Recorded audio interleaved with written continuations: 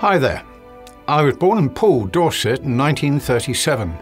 The close proximity of Poole Harbour and the wonderful beaches at Sandbanks clearly influenced my choice of career. I joined the Royal Navy in 1954, keeping a promise I made to my mother, who died just days before my 15th birthday. During the next 30 years, I visited most places in the world, serving on a variety of ships from frigates to aircraft carriers and achieving promotion through the ranks from junior stores assistant to lieutenant commander. At the time, it didn't seem out of the ordinary, but looking back over the past 60 years, I had a pretty exciting and adventurous life, which I'm delighted to share with you today.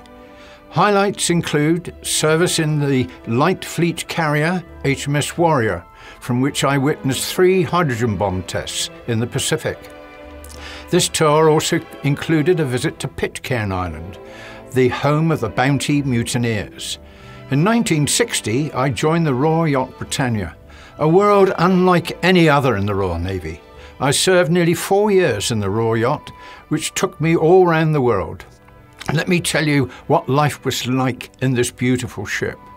Life at sea in Nelson's Navy was quite different, which I cover in my talk entitled A Hard Day's Work, a short account of the events leading up to the Battle of Trafalgar and Nelson's untimely death. I had my own experience of war during service in the Far East, being awarded the General Service Medal Malaysia and North Borneo during the 60s. I served with the Prince of Wales while Captain Secretary on HMS Hermes, and finally, as Supply Officer of Naval Party 2010, embarked in MVS Stena Inspector for the Falklands War, officially known as Operation Corporate. I retired from the Elizabethan Navy in 1983 and entered the Tudor Navy when I joined the Mary Rose Trust as an accountant, becoming the finance director.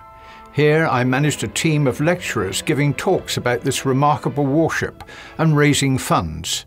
Not surprisingly, this is where I started my lecturing experience, and over the years the range of subjects has expanded to include those relating to my naval career, family history, and many others.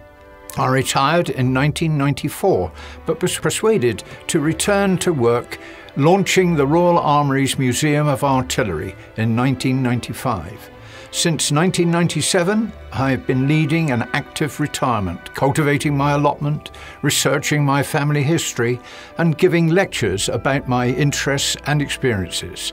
I have lectured extensively as a guest speaker on cruise ships, including Cunard, P&O, Fred Olsen and Saga, amongst many others, and can be found in many community centres and village halls in Hampshire, talking to the local WI, Probus Club or U3A on an almost weekly basis. I do hope you will enjoy these talks as much as I do, presenting them to you. Thank you.